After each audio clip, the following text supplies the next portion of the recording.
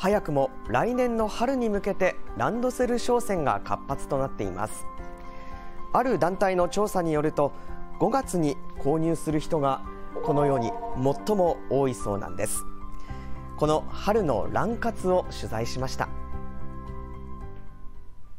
5月に入り早くも注文の数が増えてきているものがあります。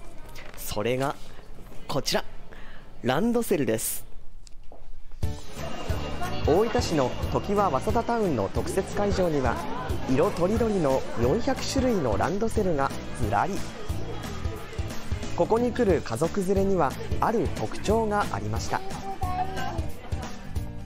コロナ禍が明けたこともありましてあのおじいちゃまおばあちゃまと一緒にあの3世代のごご家族連れであのたくさんお見になる方が増えてきました。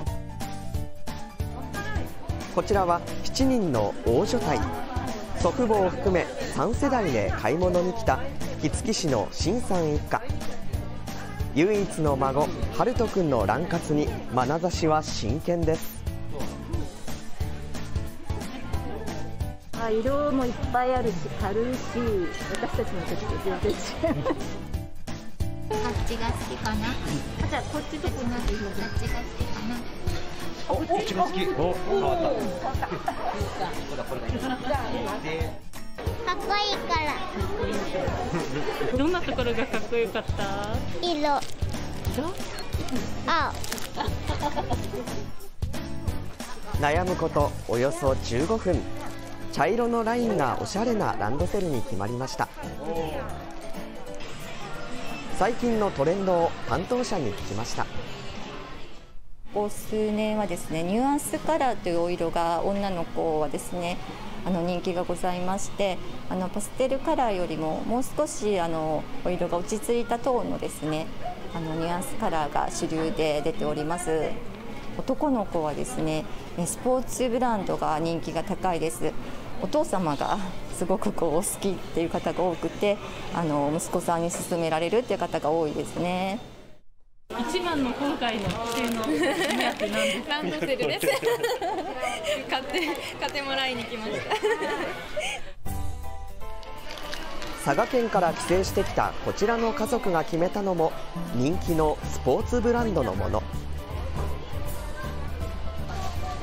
そのお値段なんと8万5000円。ですがこれが特別に高いというわけではありません。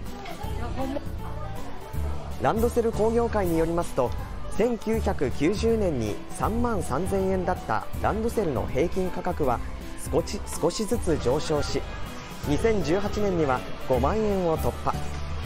今年は5万8000円余りにもなっています。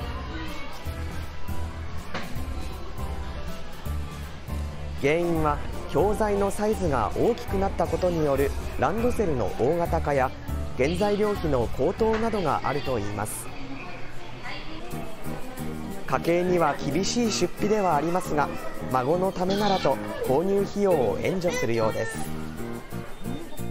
6年間ね背負ってもらうものだから自分が気に入ったものをあの選んでくれればいいかなと。まだちっちゃかった時からずっと見てるからああもうこんなになったんだと思って。今まではこんな感じでバーバーバーバーってくるけどもうあこの年になったらちょっと成長して離れ離れて友達と一緒になるの、うんあ遊ぶのかなと思う感じが強くなってきました。かっこいいのばかりでさ決められなかったけどさ。一番かっこいいオレンジを見てた。うんだからこのオレンジに来たの。小学校になるのは楽しみ。時は早稲田タウンによりますとラン活はお盆明けまでがピークだということです。